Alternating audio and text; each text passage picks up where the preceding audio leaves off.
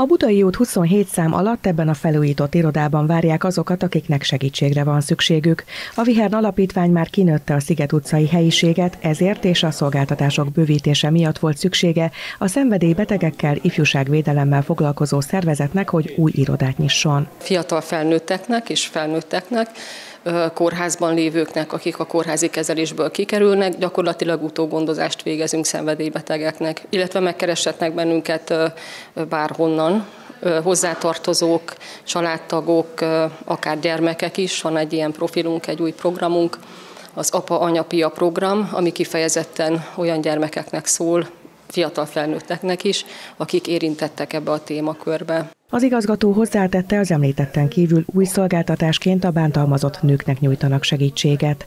Az új iroda az alapító Evangelises Johannes Stift Berdén támogatásával, ezen belül részben a néhai Svébisch Mündi Izolde Ébert adományának köszönhetően jöhetett létre. Es ist wirklich eine Geschichte, eine kleine Mesébe illő történetnek mondhatjuk. Egyszer egy nagy összegű támogatást kaptunk, hogy fektessük be az ifjúságvédelembe és esetleg Magyarországon. Ez egy hölgy volt, aki gyermekorvos és Svébis Mündi lakos. Tudjuk, hogy Svébis Günd és Székesfehérvár testvérvárosok, és ez a hölgy többször volt Székesfehérváron, mint a küldöttség tagja.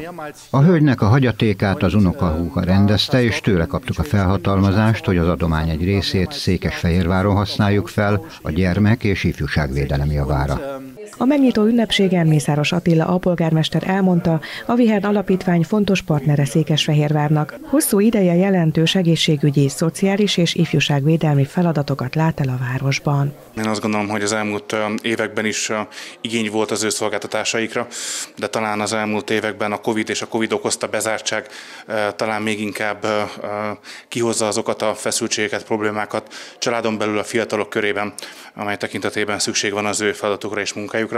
Nagy örömmel segítettük az elmúlt években is mind infrastruktúrában, irodával, mind pedig anyagilag az alapítvány munkáját, és nagyon örülünk neki, hogy önálló otthonra talált az alapítvány. A német fenntartótól érkezett segítséggel az alapítvány összesen 54 millió forintot fordított az új központ kialakítására.